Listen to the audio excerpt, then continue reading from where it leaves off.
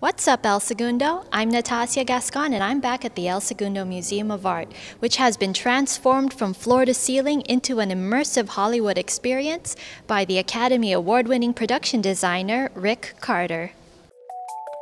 The newest exhibition at ESMOA is Experience 51 Time, a project by artist and Hollywood production designer Rick Carter, who designed the sets and other visual elements for big budget movies such as Jurassic Park, Back to the Future, Avatar, Forrest Gump, and Star Wars, just to name a few. The experience features Carter's iconic paintings, drawings, and memorabilia collection.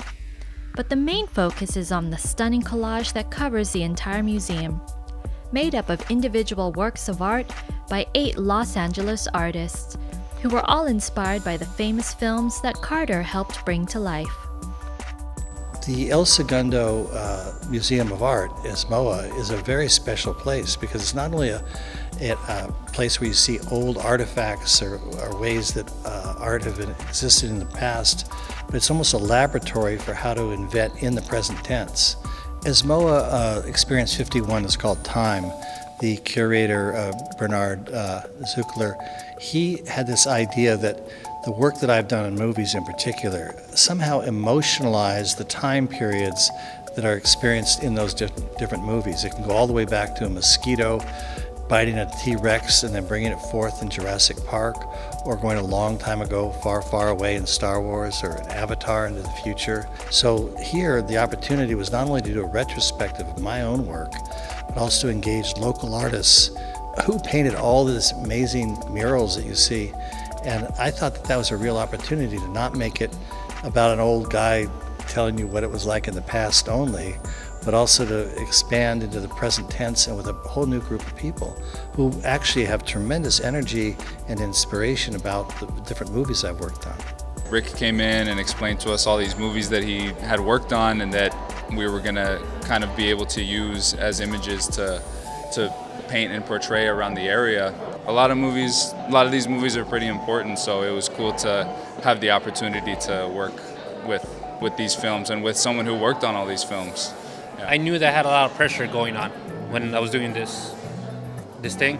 So I really tried to block everything out. And then by little by little, I was just like, wow, I can't believe that I'm being a part of what he what he has been a part of when I was a kid.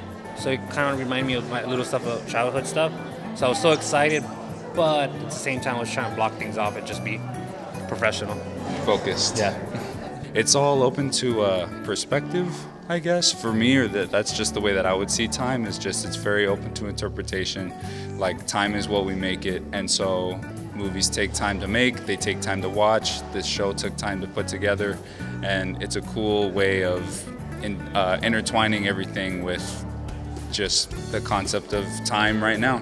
Initially, people are a little overwhelmed, so they come in and they come back out and they're like, What am I looking at? So I just let them know, you know, that this is a retrospective of sorts for the production designer Rick Carter, give them a little bit of his backstory. And then I think that the, the overall feeling of people who come out of this space is like inspiration. I think they are just really inspired by the outpouring of art that we have in the space and how beautifully all these artists collaborated together. Rick's just an incredibly inspiring individual who's really good at getting people into a room and getting them excited about a project.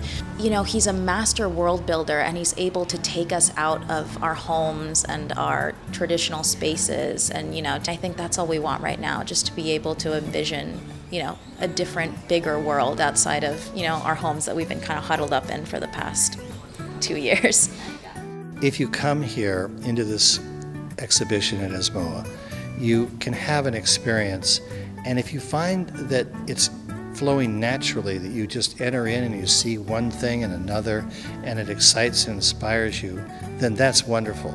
If for some reason you find that you can't take it all in, then just go sit down on the Forrest Gump bench.